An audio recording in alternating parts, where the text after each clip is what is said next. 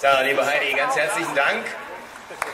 So, liebe Freunde, wir kommen jetzt so langsam auf die Zielgerade des heutigen Tages und die haben wir uns das, glaube ich, auch verdient.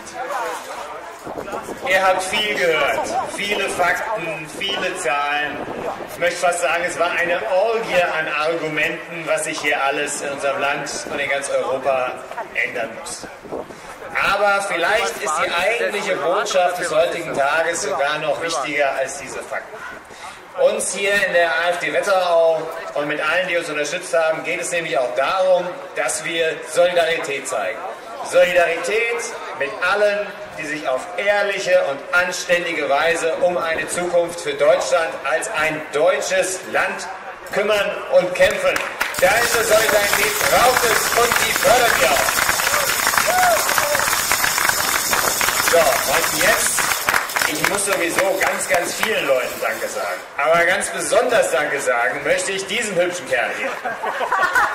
Ja, Mike Montek ist gestern aus Sachsen eingeschwebt, hat dieses wunderbare Mike Montek Mobil mitgebracht, das uns hier äh, mehr oder weniger den Hintern gerettet hat, weil wir ohne diese wunderbare Infrastruktur längst nicht äh, so eine schöne Demonstration hätten durchführen können. Mike, ganz herzlichen Dank und jetzt bitte ich dich um das Schlusswort zu unserer Kundgebung.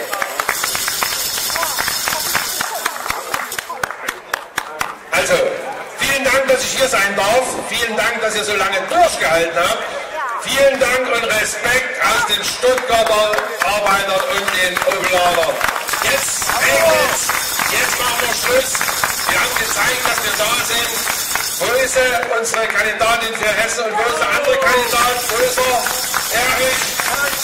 Erich ist schon weg. Wir haben zwei gute Kandidaten.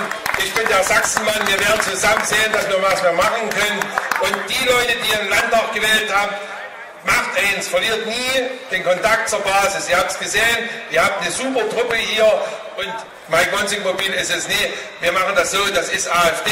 AfD beschirmt uns im wahrsten Sinne des Wortes. Und jetzt Schluss. Wir sehen uns zur nächsten Demo. Vielen, vielen Dank.